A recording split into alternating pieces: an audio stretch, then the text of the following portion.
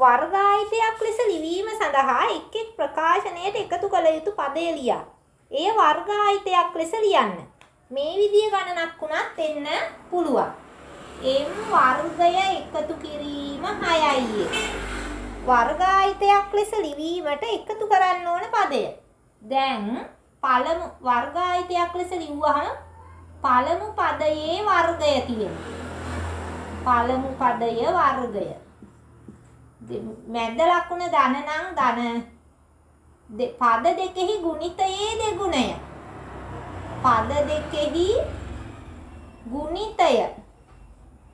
පද දෙකෙහි ගුණිතය දෙකෙන් ගුණ කරාම තමයි දෙවෙනි පදය.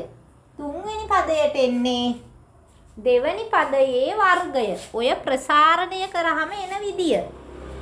දෙවන පදයේ වර්ගය. දෙවන පදයේ වර්ගය. දැන් පළමු පදයේ වර්ගය තියෙනවා. පද දෙකෙහි ගුණිතයේ දෙගුණය තියෙනවා. මෙන්න මේ එකතු කළ යුතු පදය එන්නේ දැන් මේ මැදට ඇවිත් තියෙන්නේ පළමු පදය ಗುಣ කිරීම දෙවන පදය අන්න ඒකේ දෙගුණය එහෙමනම් දැන් පළමු පදය එම්. මැද ලකුණ එකතු කිරීම නිසා එකතු කිරීම. එම් දෙවන පදයෙන් ಗುಣ කළා ඒකේ දෙගුණය. අපි හිතමු දෙවනි පදය මේ වගේ හිස් කොටුවක්. ඒකේ දෙගුණේ සමාන වෙනවා 6යි.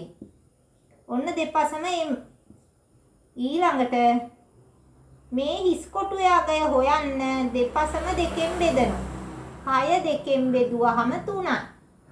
එහෙමනම් මෙන්න 3. ඔන්න ඕකේ වර්ගය. මෙතෙන්ට එන්නේ දෙවන පදයේ වර්ගය. දෙවන පදය 3යි 3ේ වර්ගය 9යි.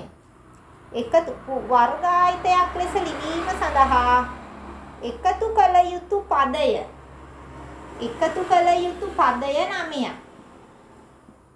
එකතු කළ යුතු පදය සමානයි 9යි. එකතු කළ යුතු පදය සොයා වර්ගායිතයක් ලෙස ලියන්න. මෙන්න වර්ගායිතයක් ලෙස. වර්ගායි